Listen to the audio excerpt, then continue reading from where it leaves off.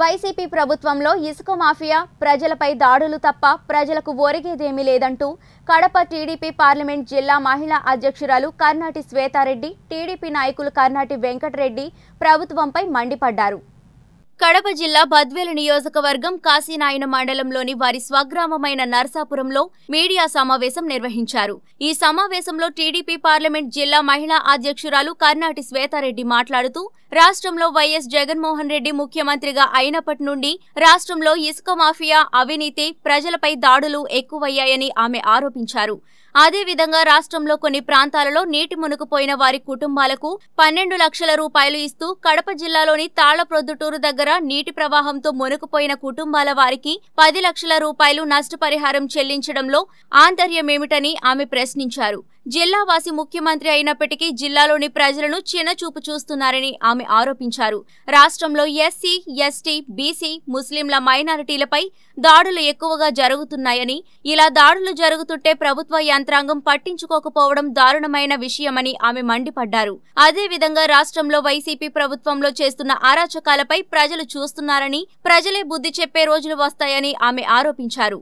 ఈ కార్యక్రమంలోని కాశీనాయన మండలంలోని నరసాపురం మాజీ సర్పంచ్ సుబ్బారెడ్డి బాలయ్యపల్లి గ్రామ మాజీ సర్పంచ్ కృష్ణారెడ్డి బసన్నపల్లె మాజీ సర్పంచ్ బైపురెడ్డి ఆకుల నారాయణపల్లె మాజీ సర్పంచ్ నరసింహులు గోంటవారిపల్లె మాజీ సర్పంచ్ ఉషనయ్య ఉప్పలూరు మాజీ ఎంపీటీసీ పోలిరెడ్డి ఈశ్వర్రెడ్డి శివారెడ్డి రమణారెడ్డి తదితరులు పాల్గొన్నారు. ఈ మంత్రులు నోటికొచ్చినట్టు మాట్లాడుతున్నారు. ఆ మంత్రులను కూడా ఈ జగన్మోహన్ రెడ్డి గారు గారు కంట్రోల్ చేసుకోవడం లేదు. వాళ్ళు ముప్పై మూడు వేల ఎకరాలు ఇస్తే చాలని నేను ప్రతిపక్షంలో ఉన్నప్పుడు చెప్పి వాళ్ళు భూములన్నీ ప్రభుత్వానికి ఇవ్వడం జరిగితే వాళ్ళ మీద రైతుల మీద రైతులైతే విమానాలు ఎక్కుతారా రైతులైతే ప్యాంట్ షర్ట్లు వేసుకుంటారా రైతులైతే కార్లలో తిరుగుతారా అది ఇది అని చెప్పేసి వాళ్ళని అవహేళన చేసుకుంటూ మాట్లాడుతున్నాం.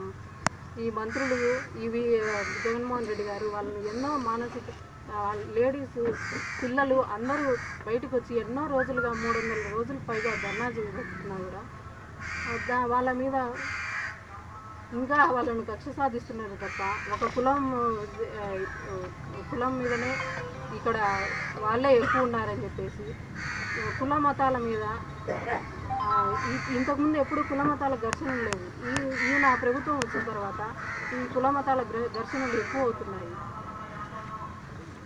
ఎస్సీ ఎస్టీల పైన బీసీల పైన ఎన్నో దాడులు జరుగుతున్నాయి.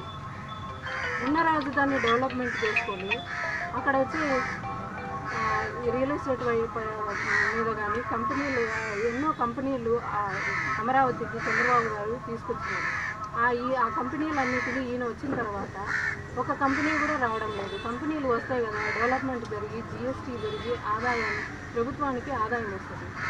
ఆదాయం వచ్చినప్పుడు మన ప్రజలకు ఏం కావాలన్నా చేసుకోవచ్చు.